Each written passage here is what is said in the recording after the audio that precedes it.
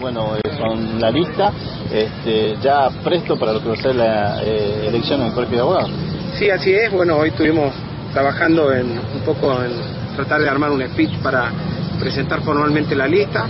No obstante, el día miércoles vamos a hacer una presentación oficial, a la cual aprovecho ahora para invitar a todos los medios,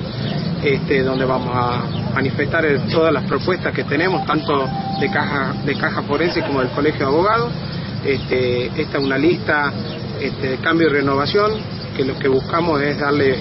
un tinte distinto a lo que es actualmente el Colegio de Abogados y la Caja Forense. Esta, esta lista, tanto del colegio como de la, de la caja, este, esta nota me sirve para desvirtuar lo que salió en los medios, de, que es este, una batalla de kirchnerismo contra PRO, todo lo contrario, nosotros en esta lista está conformada por, por gente que viene de distintos espacios,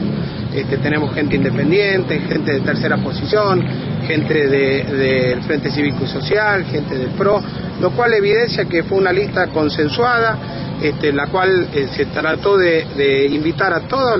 los, colegas que, estaban en condiciones de, formar parte y acompañarnos en, en, esta lista. Y bueno, hemos tenido el acompañamiento de prácticamente todos los sectores. Doctor, ¿quiénes lo acompañan en la lista? Bueno, la, lista está conformada por eh, tanto el Colegio de Abogados como la Caja Forense, está conformada eh, en, el caso de la presidencia, eh, yo soy el que estoy este, llevando a cargo la misma, estoy acompañado por el doctor Cerezo como vicepresidente,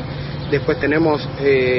representantes del Colegio de la Magistratura, representantes del Consejo de Disciplina, los cuales no les puedo decir fehacientemente ahora porque todavía no terminó el proceso de impugnación. Estamos yendo ahora casualmente que hasta las 11 de la mañana tenemos el horario en el cual vamos a tener claramente establecidos cuáles son las, listas definitivas y ahí vamos a poder, por eso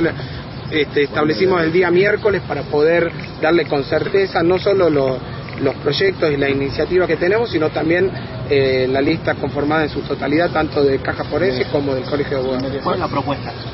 Bueno, las propuestas estamos trabajando sobre ellas, buscamos tener un colegio totalmente independiente, este, que cumpla realmente con los objetivos que tiene el colegio de defender este, concretamente los valores, la ética y la, profesión del abogado y bueno, para eso vamos a estar trabajando y el día miércoles, tanto de la caja como te repetía, de la caja forense y del colegio de abogados, vamos a estar planteando las propuestas claramente. ¿Cuántas son las elecciones? ¿Cuándo son? Las elecciones son el día 26